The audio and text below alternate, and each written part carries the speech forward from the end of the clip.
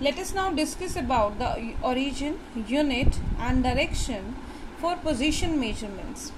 Here you can see again this is the same kind of diagram which shows that the position difference between O and A is 80 kilometer, between O and B is 100 kilometer and O and C is 140 kilometer. Now let us take the origin for position coordinate x is equal to 0 at O. In this case again the measurements are 80 kilometer, 100 kilometer and 140 kilometer.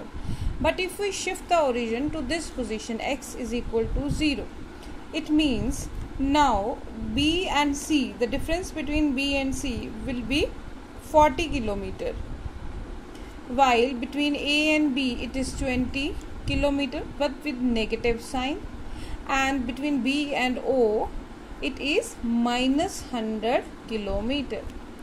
So again we can discuss here that the on shifting the origin if we shift the origin what changes can takes place the first position is we can what point is we can shift the origin for origin for position measurements. Position measurements.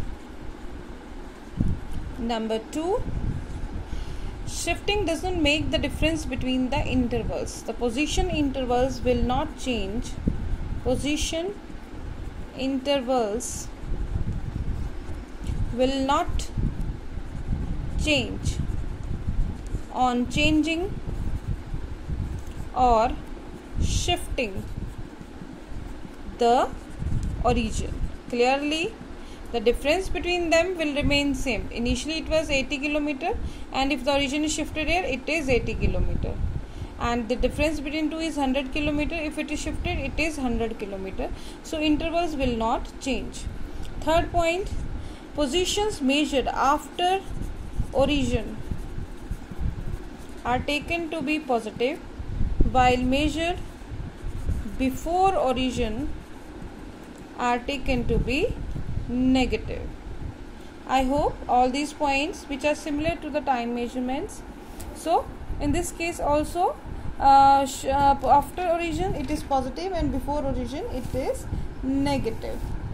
Now if uh, we are talking about the uh, origin and if we are taking origin on the xy coordinate axis. In this case these axes are taken to be positive and if we are talking about this stage these are taken to be negative